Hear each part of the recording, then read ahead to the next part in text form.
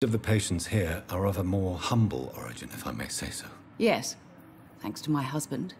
May he rest in peace. I can cover any needed medical expenses. What do you think of your reception here? Any complaints? I have had the uttermost reservations about this hospital since we arrived.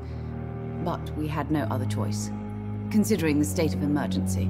Is there something in particular that's bothering you? Some of the staff were not especially welcoming. I suspect they're not accustomed to dealing with patients of such social standing. Tell me more about your arrival at the Pembroke Hospital. What gave you such a bad first impression? The ambulance driver was quite rude, for a start. And that nurse, Miss Hawkins, seems to have quite a dubious attitude. What do you mean? She managed to secure a bed for my son despite the epidemic. It was a relief, but it wasn't cheap.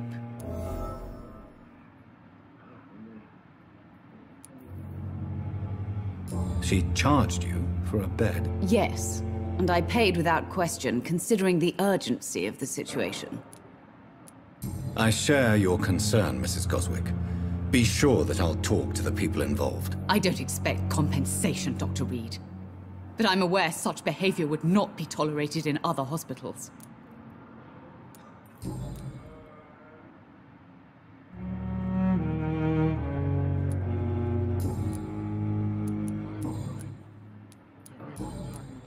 Goodbye, Mrs. Goswick. This hospital seems to be falling apart. But in the circumstances, I'm... Good evening, Doctor. Goodbye, Mrs. Good evening. I'm Dr. Reid. Can I help at all? No, Really? Why are you here, then? I don't want to talk. My throat hurts too much. I suppose that this pain is the reason you're here. Is someone taking care of you? Yes. And no. Could you at least tell me your name, sir? Mortimer. Mortimer Goswick. How painful is your throat, Mr. Goswick? So painful I'd rather not talk at all, Doctor. I'm sure you realize a doctor and his patient have to communicate, sir. Would it help if I gave you some paper and a pen? Not really. I see. Then maybe it's not just your throat that hurts, Mr. Goswick. Perhaps your sore throat is just the consequence of something more hurtful. Yes, maybe. But I don't want to talk or even write about it now. Why did your mother have you hospitalized here? She seems convinced this is a bad hospital. My mother just wants the best for me. She won't rest while I'm here. She'd go all the way to hell and back to help me. Pembroke Hospital may look unorthodox, but rest assured you're in good hands here. It's not me you have to convince, Dr. Reid. It's my mother. Is your mother bothering you? As your doctor, I can ask her to leave you alone if you would prefer. That's tempting, Doctor. But you have no idea what my mother is capable of. She would tie herself to my bed if you asked her to leave.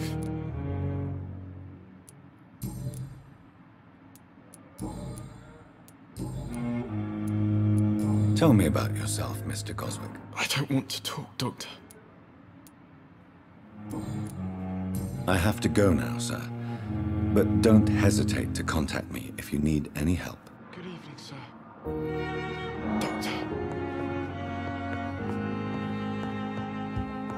You always knew the words to calm the children, Helen. As Good evening, sir. I'm Dr. Reid. May I help you? I don't know if a third opinion is needed. Your colleagues are already arguing about my condition. I see. Would you mind telling me more about your situation? I'm Harvey Fiddick. All I want is to get me bloody arm fixed properly. Tell me about yourself, Mr. Fiddick. I'm just a regular guy waiting to get his arm fixed, so I can return to work and to my family. I was more curious about what you were doing before being hospitalized. I'm a carpenter, and a good one too. But that means I need both arms to feed my family, Dr. Reid. Are you satisfied with your treatment here? Well, it's clear that I've chosen a bad time to be injured. Forgive my bluntness, but you seem overwhelmed by cases of the flu. I won't lie to you about it. I'm afraid we are. Are you sure you don't want to operate yourself, Dr. Reid? I have the feeling you're very capable. And your colleagues seem to think so too. In other circumstances, you would be right. But for now, I don't think I can take on the responsibility. My apologies. Tell me about the doctors who are arguing about your case. Strickland and Ackroyd. They both want the best for me, but there's a lot of pride there. Doctors are no different from carpenters, it seems. What do you mean? I often had professional arguments with rivals on a building site. Difference is, I disagreed about wooden nails, not flesh and bones.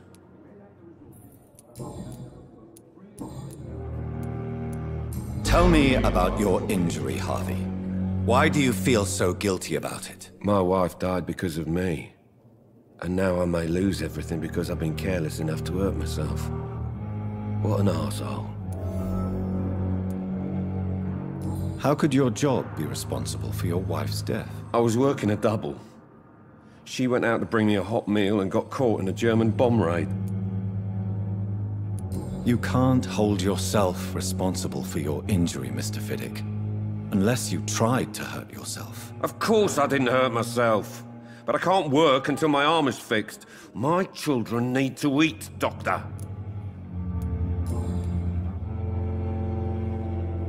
Tell me more about the death of your wife, Harvey. 1915.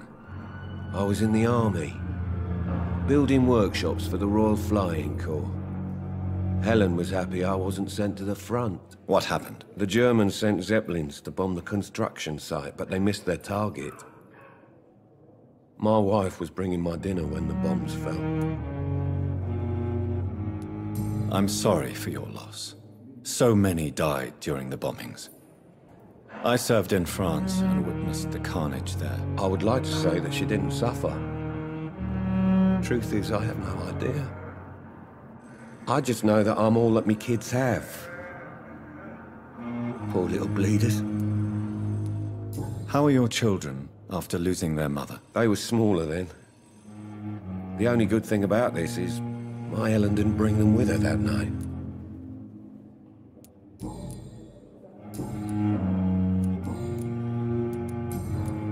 Goodbye for now, Mr. Fiddick.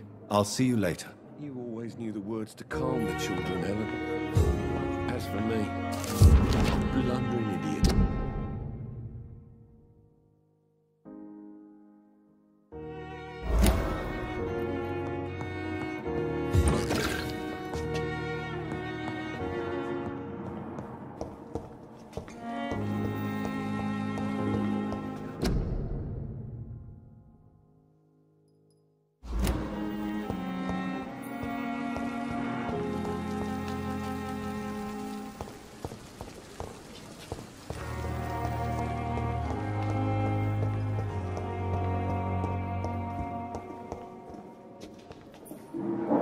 I'm quite busy right now, Dr. Reid. Tell me, Waverly, what do you think of Dr. Strickland's enthusiasm for his experimental research? Strickland is playing with his patients' lives for pride and glory. Now that, sir, is unethical. Are you thinking about something in particular? Harvey Fiddick needs delicate surgery. I believe we should stick to the usual procedure, but my young colleague obviously disagrees.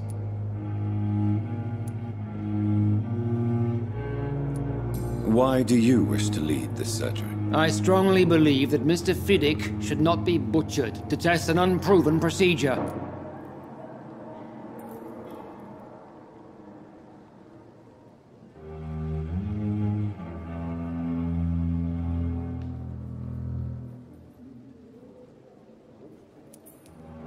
Other people may say that's too conservative a point of view. Conservative?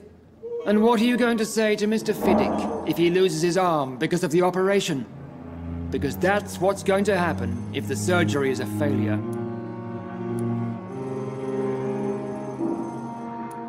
And are you not afraid that your rivalry with Strickland may be blinding you? Rivalry? I guess you could call it that but I will never be childish enough to let my personal feelings affect my judgment.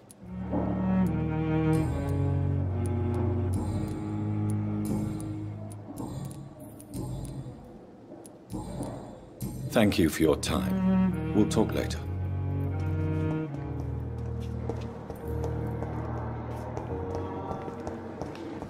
Thelma Howcroft said she was being watched by vampire hunters. Where are they hiding? I should investigate.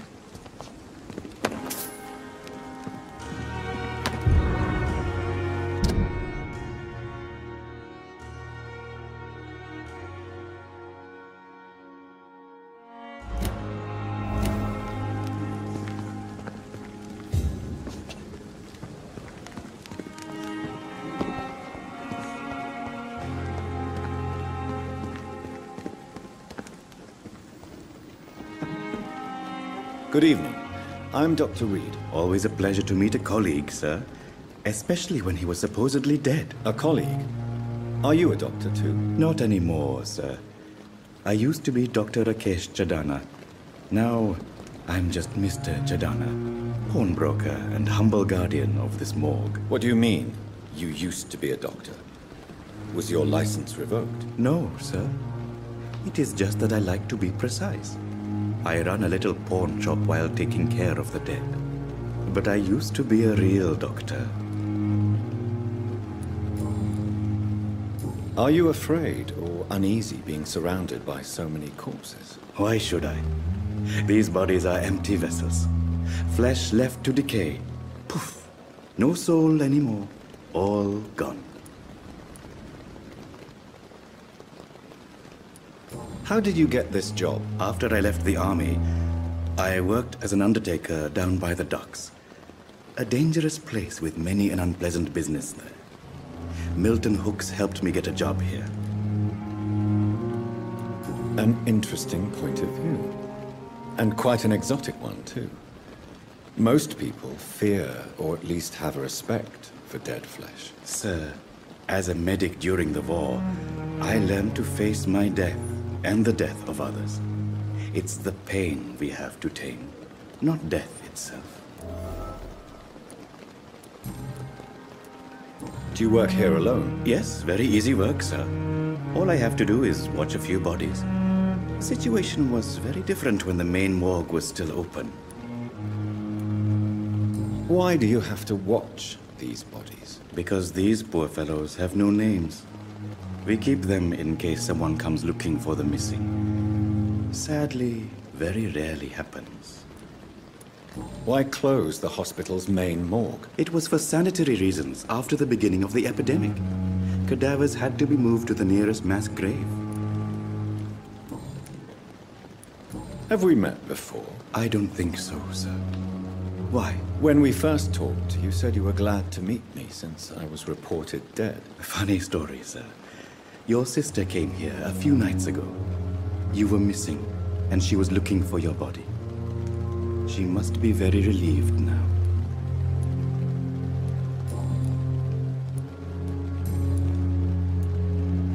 A pawnbroker? I expect you get all types of people here. Yes, sir. All kind of people. For I sell all kind of goods. Who comes here to trade with you? It's very unhygienic, even unsafe. Diseases can spread. For the customers, for the hospital. I'm very cautious, sir. I've been a doctor, remember? And all my clients are good people. In fact, I think I only know good people. What kind of goods? With the quarantine, it's not always easy to buy things. So I trade, I exchange. Some people sell, some others buy. I like to help. Since you're not afraid of dying, do you believe in life after death, Rakesh? No. I believe we must do all the good we can while alive. For our time is short, and the obstacles are endless. Do you think you would enjoy immortality as a concept? I don't think so. Don't mistake me. I love life, and I'd like to live a long life. But everything has to decay, sir. Even goodwill. Do you really believe goodwill cannot last? As I said, sir, everything decays. If I was to never die, goodness, I would be bored or worse. And I like to be helpful, sir. Quite depressing, wouldn't you say? Yes, but the good news is we'll all die before losing our humanity, sir. So you're ready to die? No, I am not. I don't fear death, for I won't see it. What troubles me is the pain my death will inflict to those I know. You're a wise man, Mr. Chidama. No, Dr. Reid. I am a foolish man. But I like to think otherwise. Please show me what you have to sell. Of course. It's just trinkets and curios, really. But I'm sure they can be useful.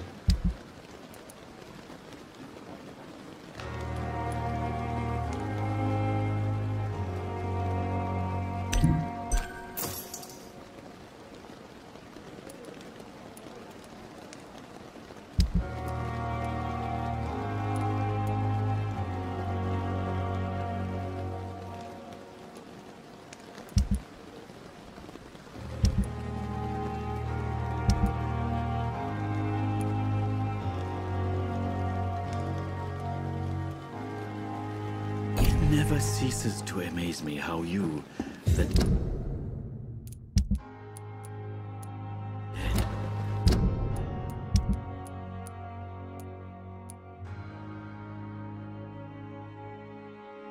seem peaceful and lost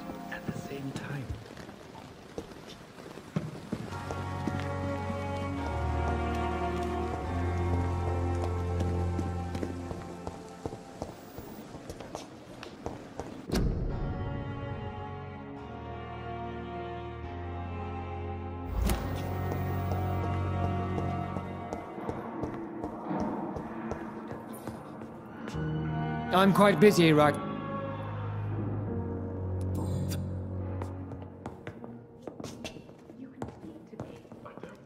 Good evening. And good evening.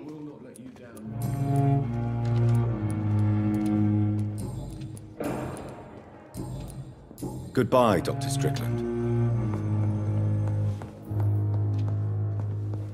Good evening, You always knew the words to calm the children. I'm quite busy right now, Dr. Reid. Thank you for your time.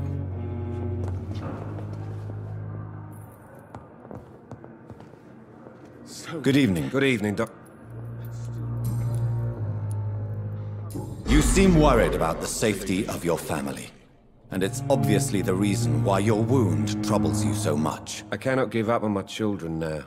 They both need me living. What about their mother, if I may ask? She died in 1915 during one of the first Zeppelin raids. We never found her body.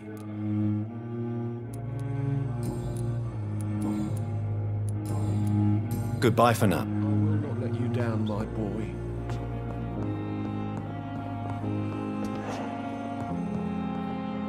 What can I... Thank you, no I'm so sorry, girl. Will this shift never end?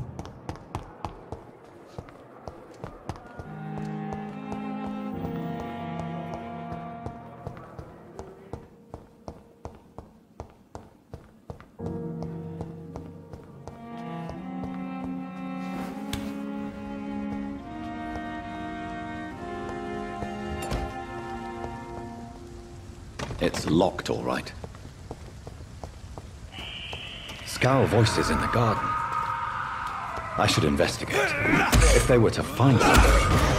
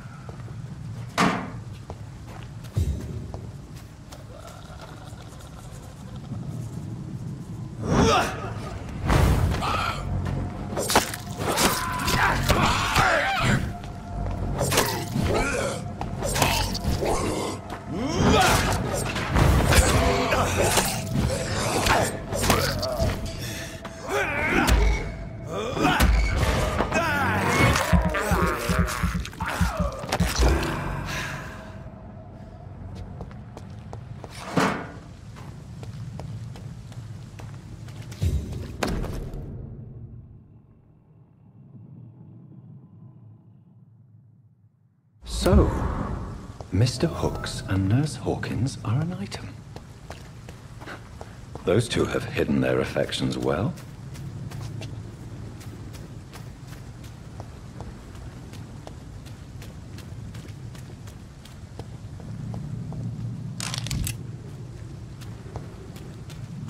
It's locked.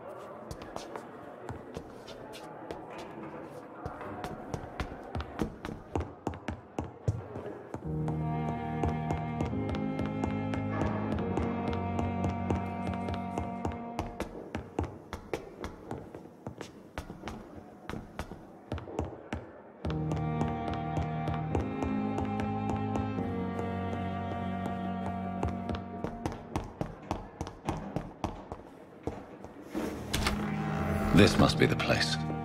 It's definitely away from prying eyes. Relegated to the shadows.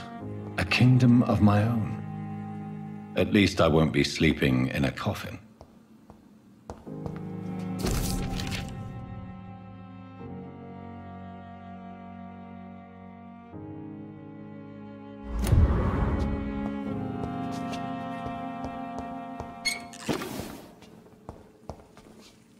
Flower's dying. It needs water.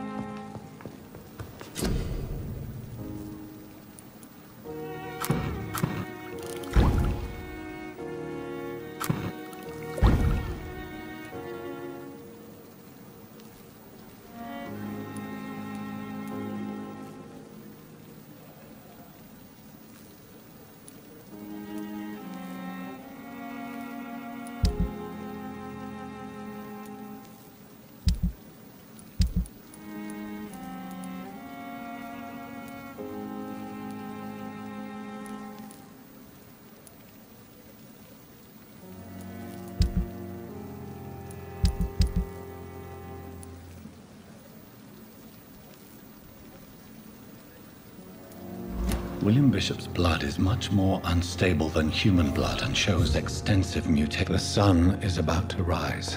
I can feel it. I'll continue tomorrow night. I have so much time